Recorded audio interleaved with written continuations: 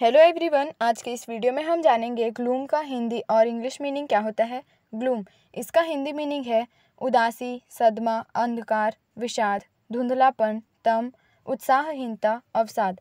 वहीं इसका English meaning है a feeling of being sad and without hope example से समझते हैं इसे। Example the news brought deep gloom to the village यहाँ ग्लूम का हिंदी मीनिंग सदमा है। उदाहरण, इस खबर से गाँव में गहरा सदमा पहुँचा। इसी के साथ आज की इस वीडियो में बस इतना ही। Thanks for watching my video